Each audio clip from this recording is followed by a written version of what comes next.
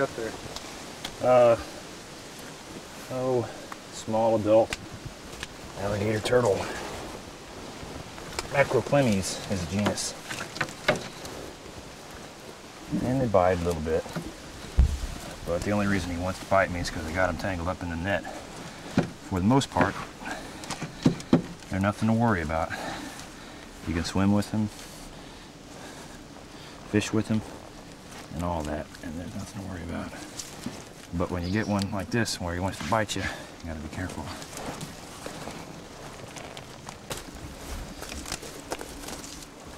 There we go. Ah! Ah, got me. Uh, okay, he's got me. What do you want us to do? Uh, uh, oh. Want to help him? Uh, Somebody want to help No, him? don't No, touch the he's turtle. gonna have to do it. Okay. Just gotta release it. See if we can't pull on them or anything. That'll just make it worse. Somebody get the pliers out of my bag. Quick.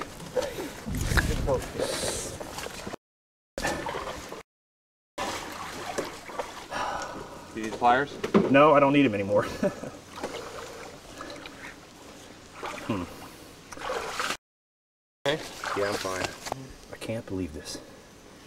Did it take some stitches? I don't know. No, it's okay. I don't need a bandage on it. I mean, I don't want one on it. It's throbbing too much. You need to stop the bleeding, and that's how you're gonna stop the It's, bleeding. it stopped. Look, it stopped. Okay. It stopped.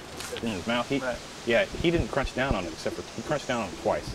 You saw him. He was he was holding on too too much so where I couldn't pull out. I didn't want to move. No, one of us didn't want to do anything because Yeah. he can feel what's going on. Yeah. Yeah.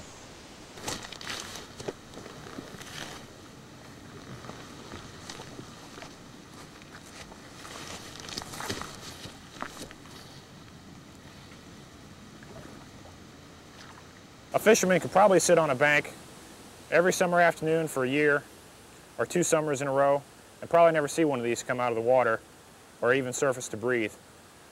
Females lay eggs on land. Other than that, they're really rarely ever found.